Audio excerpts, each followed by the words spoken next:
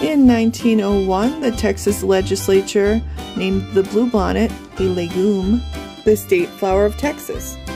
Rivals for the Texas state flower included the cotton boll and the cactus, which was passionately supported by John Nance Garner of Uvalde, Texas, otherwise known as Cactus Jack, who later became Vice President of the United States under Franklin Delano Roosevelt in 1932.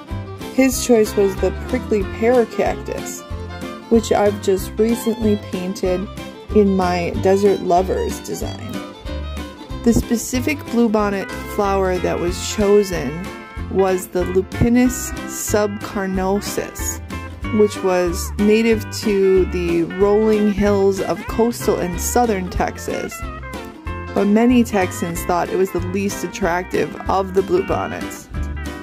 Off and on for the next 70 years, the legislature was encouraged to correct its oversight.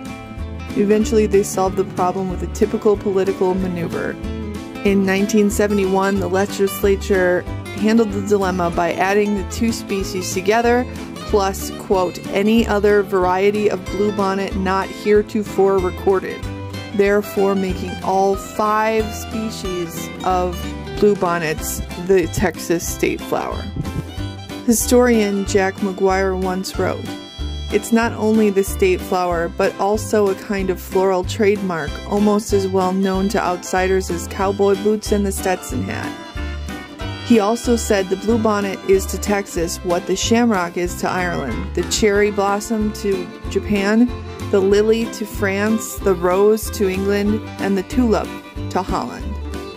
Such praise seems to be on par with what most Texans say with the whole state competing for titles such as, Bluebonnet Tartan, Bluebonnet City, Bluebonnet Trail, and Bluebonnet Festival. Bluebonnets were named for the blue color of the flower and the sunbonnet shaped petals, though not all bluebonnets are blue. They come in a variety of colors, but the main ones being blue, white, and pink. They begin to bloom in March and are in full bloom by April, sometimes extending into the beginning of May. I hope you get to see these roadside wonders in Texas, to enjoy them for the symbol of Texas that they have become. And I hope you enjoyed my painting.